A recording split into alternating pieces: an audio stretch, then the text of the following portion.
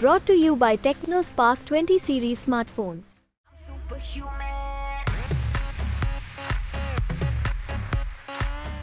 चुनावी मौसम चरम पर है।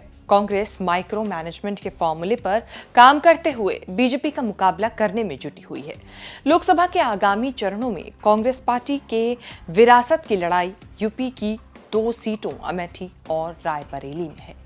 विरासत की इस लड़ाई में प्रियंका गांधी वाड्रा अहम भूमिका निभाती हुई नज़र आ रही हैं। 2022 के यूपी विधानसभा चुनावों में हार के बाद से ये लंबे समय के बाद होगा कि प्रियंका गांधी अगले 12 दिनों के लिए अमेठी के भुवे मऊ गेस्ट हाउस में डेरा डालेंगी। उनके डेरा डालने की वजह अपनी पारिवारिक विरासत को बचाने और बीजेपी से अमेठी को वापस जीतने की सबसे बड़ी चुनौती है। इस चुनाव प्रचार के अभियान की कमान प्रियंका गांधी ने खुद अपने हाथों में ली हुई है और बूथ लेवल पर मैनेजमेंट एक एक घर पहुँचने की रणनीति, साथ ही सोशल मीडिया आउटरीच से लेकर पूरा का पूरा एक बहुआयामी रणनीति बनाई हुई है। इसके साथ ही उनका साथ देने के लिए रायबरेली में भूपेश बघेल और अमेठी में अशोक गहलोत शामिल होने जा रहे हैं।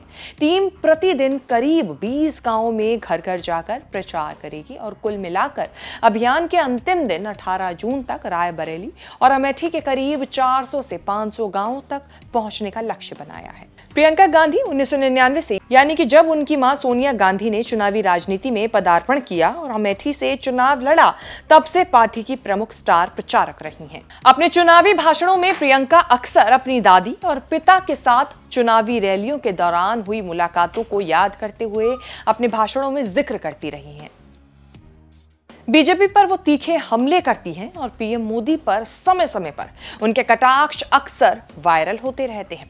वैसे जब इंडिया टुडे ने उनसे सवाल किया कि उन्होंने इस बार चुनाव क्यों नहीं लड़ा तो उन्होंने जवाब दिया कि चुनाव अभियान का मैनेजमेंट फिर कौन करेगा?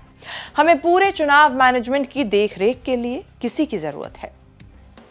प्रियंका गांधी के वहाँ प्रचार करने का फ़ायदा यह है कि वो इन दोनों लोकसभा सीटों, रायबरेली और अमेठी को अच्छी तरह से जानती हैं। वह यहाँ की हर नुक्कड़ और कोने में लोगों के स्वभाव और पार्टी की ताकत और कमज़ोरी को अच्छे से जानती हैं।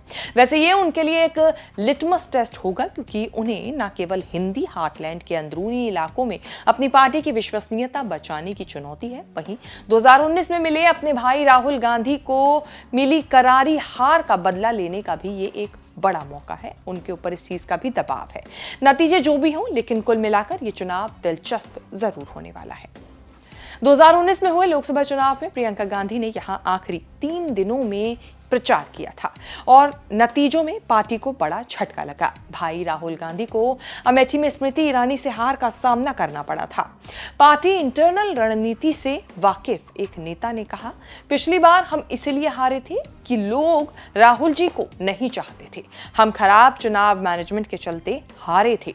लोगों में पार्टी के चुनाव प्रबंधकों के खिलाफ बहुत गुस्सा था जो हार की वजह बना।